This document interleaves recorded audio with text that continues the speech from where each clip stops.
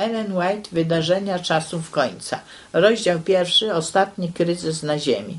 Powszechne zainteresowanie przyszłością. E, czasy, w którym żyjemy, interesują wszystkich. Władcy i mężowie stanu, ludzie zajmujący odpowiedzialne stanowiska, ludzie myślący, pochodzący ze wszystkich klas społecznych, powinni zwrócić baczną uwagę na rozgrywające się wokół nas wydarzenia.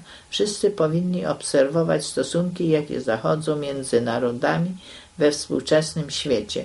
Dostrzegą wówczas nasilanie się dążeń do zawładnięcia każdym skrawkiem ziemi, uświadomią sobie, że coś wielkiego i decydującego musi niebawem nastąpić, że świat stanął u progu olbrzymiego kryzysu nieszczęścia na lądzie i morzu, niepokoje społeczne i wieści o wojnach rozbrzmiewają złowieszczym echem, zapowiadają zbliżające się wydarzenia znacznie większej wagi.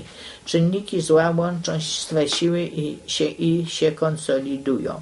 Nabierają mocy przygotowujące się do ostatniego wielkiego kryzysu.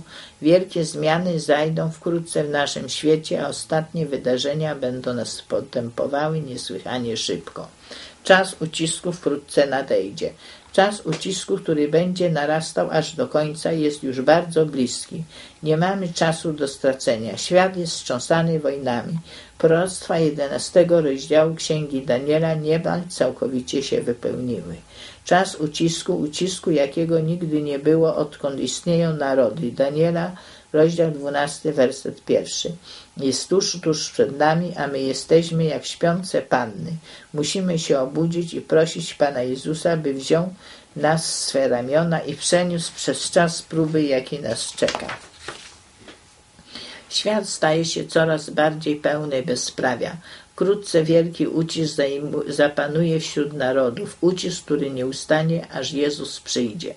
Stoimy już na progu czasu ucisku, a problemy, które trudno sobie wyobrazić, są przed nami. Stoimy na przedprożu kryzysu wieków. Jedne po drugich przyjdą sądy i wyroki Boże. Ogień, powódź, trzęsienia ziemi, wojna, przelew krwi.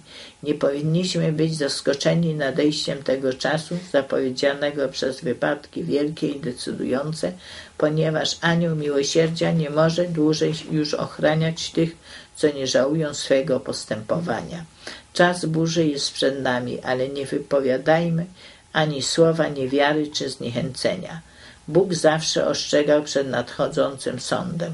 Bóg stale uprzedzał ludzi o zbliżającym się sądzie i dlatego ci, którzy uwierzyli w Jego ostrzeżenia, postępowali stosownie do zasad swej wiary i byli posłuszni przykazaniom, unikną osądu oczekującego nieposłusznych i niewiernych. Bóg przemówił kiedyś do Noego. Do niego wypowiedziane były następujące słowa.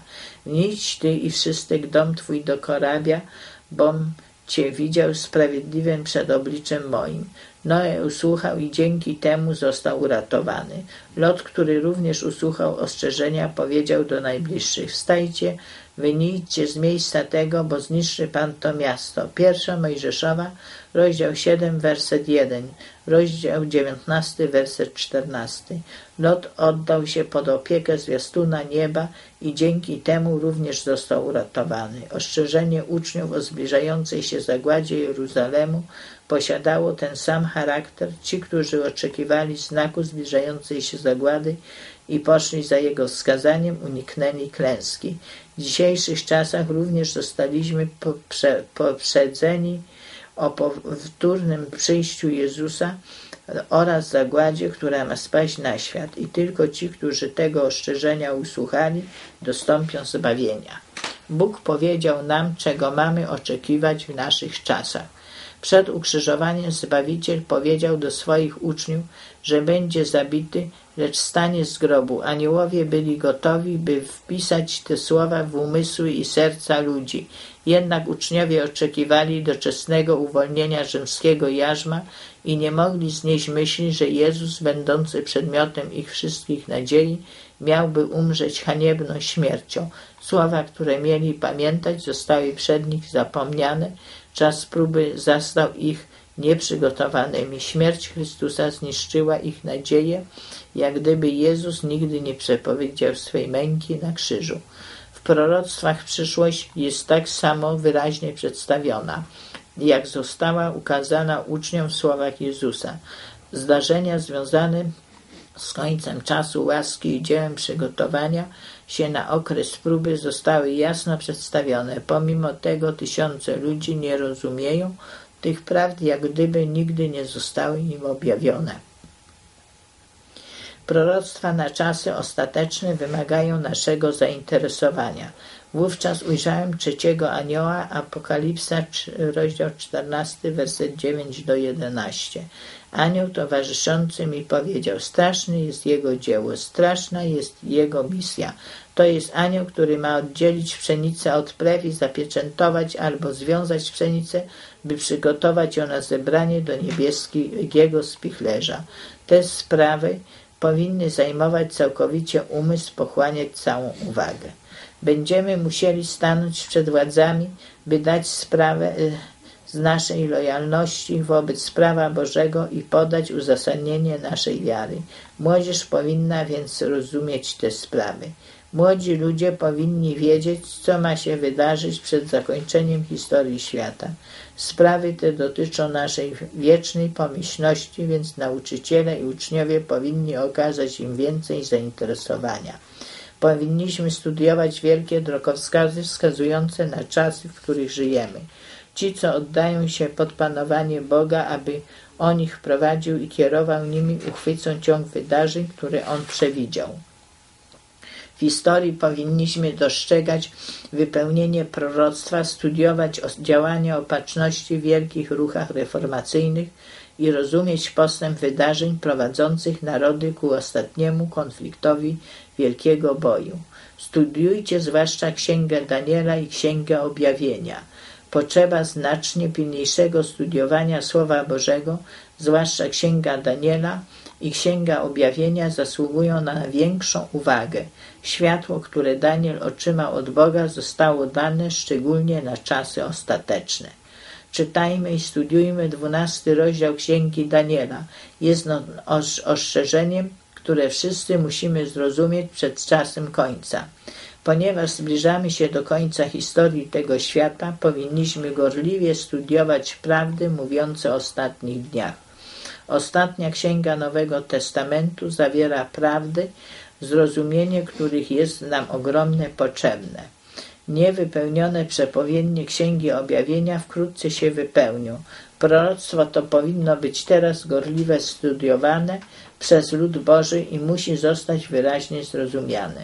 Nie ukrywa ono prawdy, wyraźnie przestrzega, mówiąc nam, że co stanie się w przyszłości. Poważne ostrzeżenia podane w odpowiednim porządku w Księdze Objawienia mają zajmować pierwsze miejsce w umysłach ludu Bożego. Zagadnienie to należy przedstawić ludziom. Wielu jest ludzi nierozumiejących znaczenia proroc, które odnoszą się do naszych dni. Tych ludzi musimy oświecić. Jest to obowiązkiem zarówno stróżów, jak i pospolitego ludu, aby trąbie nadali wyraźny głos. Niech stróże podniosą swój głos i przekażą poselstwo, które jest teraźniejszą prawdą na nasz czas. Pokażmy ludziom, w jakim punkcie proroczej historii się znajdujemy. Oto dzień, który Bóg wyznaczył jako koniec historii tego świata i będzie głoszona ta Ewangelia o Królestwie na świadectwo wszystkim narodom i wtedy nadejdzie koniec. Proroctwo szybko się wypełnia, więcej, znacznie więcej. Należy mówić o tych tak ważnych sprawach. Bliski jest dzień, w którym przeznaczenie wszystkich dusz zostanie na zawsze ustalone. Należy dołożyć wszelkich starań, by przedstawić to zagadnienie ludziom nie tylko przed ludźmi ze świata, ale przed naszymi zborami należy przedstawić poważny fakt, że Dzień Pański przyjdzie nagle, niespodziewanie. Strażliwe ostrzeżenie proroctwa skierowane są do każdej duszy. Niech nikt nie czuje się wolny od niebezpieczeństwa i zaskoczenia. Niech żadna interpretacja proroctwa nie pozbawi nas, was przekonania, że obecne wydarzenia świadczą, że dzień ten jest bliski. Zachowajcie przyszłe wydarzenia we właściwej perspektywie. Nie jesteśmy teraz w stanie opisać dokładnie scen, które będą miały miejsce w przyszłości, ale wiemy, że teraz jest czas, w którym powinniśmy czuwać na modlitwie, gdyż wielki dzień Pana jest bliski. Znamie bestii jest tym, czym zostało nazwane. Nie wszystko w tej sprawie jest wyjaśnione i nie będzie zrozumiane, dopóki zwój nie zostanie rozwinięty. Wielu odwracać będzie wzrok od obecnych obowiązków, obecnych sposobności i błogosławieństw i powodować będzie problemy, przypisując je przyszłemu czasowi ucisku, ale znoszenie takiego sprowokowanego ucisku nie przysporzy nam żadnych łask.